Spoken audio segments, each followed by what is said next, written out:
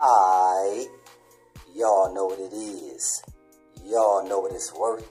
Let's get this merch. Subscribe to the PDH Network. Alright, y'all see what we got going on here. As y'all see the thumbnail, y'all read the title under the thumbnail. Yeah, man, today's video is dealing with your homeboy takeoff girlfriend. Now, she finally has something to say. I know it's a lot of people out there trying to understand why did it take her so long to say anything. Y'all gotta understand the reason why, man. When you got somebody like J. Prince and the mob ties that's behind her, what you think she gonna say? She gonna say whatever them folks tell her to. And that's real talk, man. And that's something that y'all gotta be aware of. Matter of fact, J. Prince is only allowing the people to speak who's on their side. You understand? Meaning that if you have no affiliation to the mob ties and you gonna tell everything, you the person who they don't want speaking to those people, man. Reason being, because you may slip up and say something to go against J. Prince's narrative. And we know he don't want nobody doing that. Because you really gonna let the people know, hey man, no, this what happened because ABCD, the bogus dice came out. After that, everything went up. But like I stated before, for some reason, don't nobody want to talk about the bogus dice, man. That's what popped off the whole situation between J. Prince Jr. and Quavo. But again, like I stated, man, you got Takeoff girlfriend. She trying to understand what's going on and why J. Prince is out there running his mouth. If he wasn't even there. But at the same time, see, a lot of folks in the ATL already know that Quavo, he was always around Jas and his pops J. Prince. But at the same time, a lot of people is not used to seeing Takeoff around them. So with that being said, you got some people who feel like Takeoff shouldn't have went. And one of those people who feel that way is Takeoff girlfriend. She is familiar with Takeoff not ever want to go to the same events that Quavo would go to with Jas and his brother J. Prince Jr. So I have a correspondent try to understand why did Takeoff go to that private event in the first place if he wasn't used to being around J. Prince Jr. mob ties. I'm gonna let her explain the reason why Takeoff girlfriend was okay with going to J. Prince Jr. private event with Takeoff. All right, so honestly and truly, it's easy in retrospect for us all to know what happened and say, oh, well, they just shouldn't have gone to the event. But if we really think about it, we have to realize that this situation was a lot more complex than we all think. So initially, sure, Takeoff wasn't used to attending those sorts of events, and neither was his girl. However, we have to realize that if they are approached by his uncle, Quavo, for attending what is called a quote unquote private event. Because the reason why Quavo approached both of them to come to the event, because J. Prince was the one that asked them if they would come to his son's private event. You understand? Like I said it before, that's because J. Prince, the pops, he actually wanted all three to attend.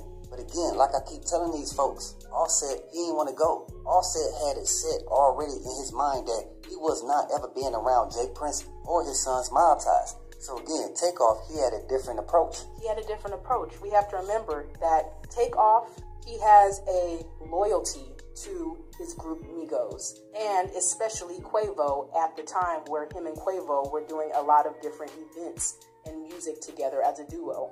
So with that said, when they are approached for an invite, which would have been best case scenario, all three of them, then that makes Takeoff feel obligated to attend with Quavo in order to fulfill an obligation and in order to fulfill a promotion of networking. And then also, we have to remember that if it is stated that it's going to be a private event, that comes with some assumptions of security, that it's only going to be invite only, and the in, and the people that attend will have higher status and have something to lose along with you.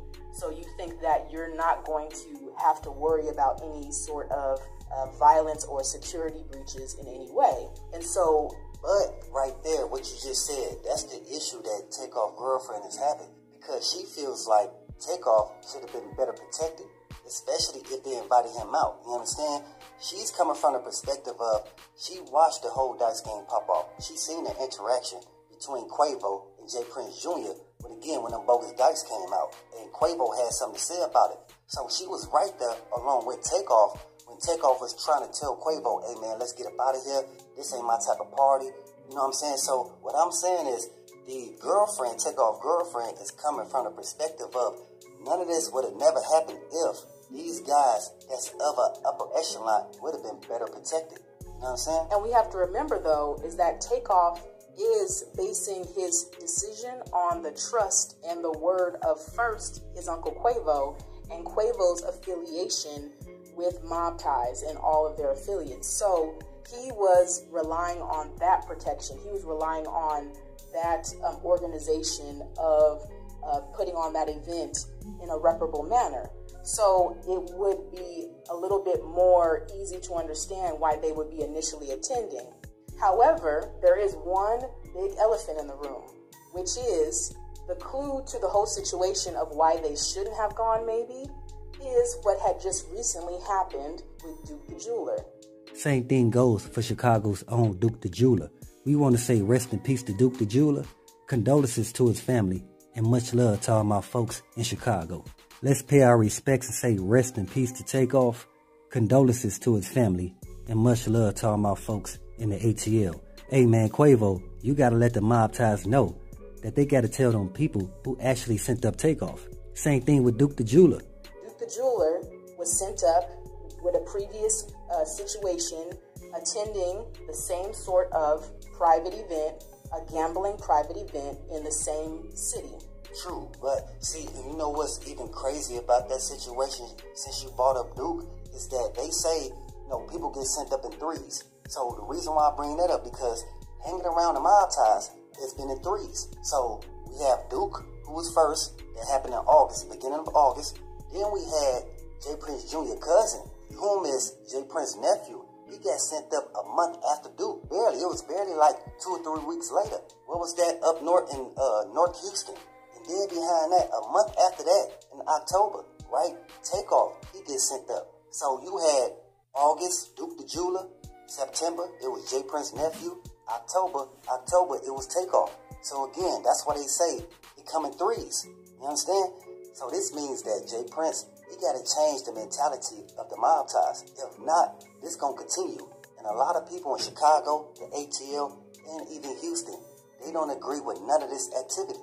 And so we have to realize that sometimes you have to read the tea leaves and you have to look for patterns. And so in that situation, Takeoff and his girl should have considered in that moment the fact that there had been the same attendees at a private gambling event in Houston affiliated with mob ties and something popped off. And so that really should have uh, made them cautious about attending this particular event. And so maybe that is why Takeoff's girl is deciding to come out and speak on the situation because she might be feeling overwhelmed with the emotions that she's having to deal with and grieving. And at first, she was deciding to stay quiet, but sometimes the emotions can overtake the original logic that she was using and saying it's best that I stay out of it and stay quiet. And now at this point, she just might be overwhelmed and needs to get it off her chest. And so we'll just have to find out what she ends up disclosing as she continues to uh, reveal different elements of that event and that night. It's true. And along with that, I know it's a lot of people out there saying that, you know, J. Prince got arrested by the feds that's not true. It was actually J. Prince's nephew, the brother of J. Prince's nephew, who got blinked down in September, right behind Duke the Jeweler. So his brother is the one that the feds picked up. You understand? A lot of people thought it was J. Prince. You had some people thought it was J. Prince Jr. No, man, it's the family. You understand? The people, see, they feel like if they can't get enough information out of you, then they just go to your family. It's always been like that. You understand? See, them people, they gonna want to talk to family that they know is part of that street activity. You understand? Now, that's the reason why one of J. Prince's nephews was sent up, and the other brother tried to come back and defend him. But that's what we talking about here. we not trying to have this back and forth go on between black men. We got a family to look after and we got children to raise. You feel me? And they all need our protection. That's the reason why we really have to think about the things we do before we do it. And also, we have to be aware of the people that we hang around because everybody don't have your best interests at heart. And that's something we all have to understand. So that's the reason why you always have to be aware and always stay prepared. But hey, we get more in store. As always, y'all know what it is. Y'all know what it's worth. Let's get this merch. Subscribe to the PDH Network.